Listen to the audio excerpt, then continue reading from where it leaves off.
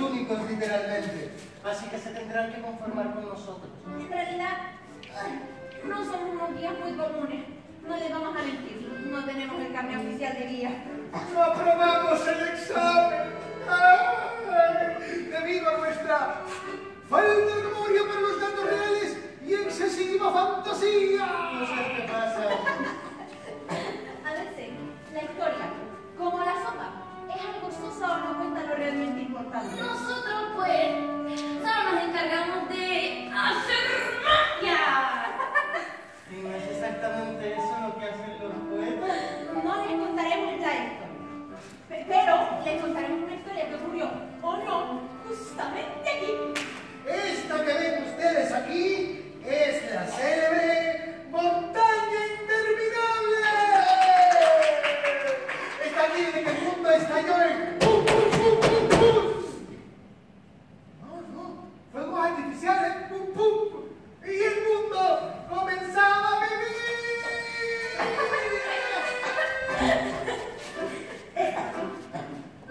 Desde siempre es testigo de todo lo que sucede.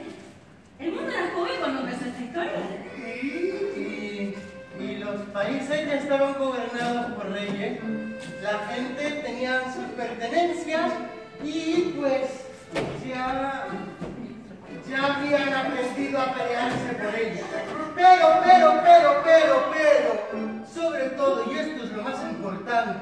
El mundo ya había descubierto las nutritivas propiedades de ese alimento que es la, la sopa. ¡Ay! ¡La sopa calentita!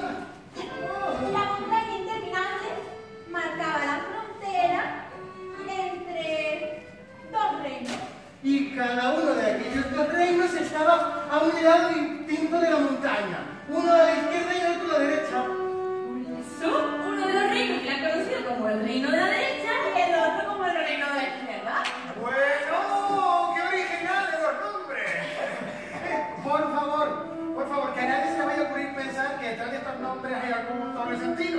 Sencillamente se llaman así porque estaban en ese lado de la montaña cuando decidieron su nombre. Cosas que pasan. Ay, cosas que pasan. Vale, reino de la derecha, reino de la izquierda. No, no, no, no, no, no.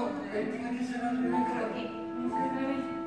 Mira, nosotros que estamos hablando así, estamos hablando así. A ver, espera un segundo, para no liarnos. Vamos a llegar a un acuerdo, ¿no?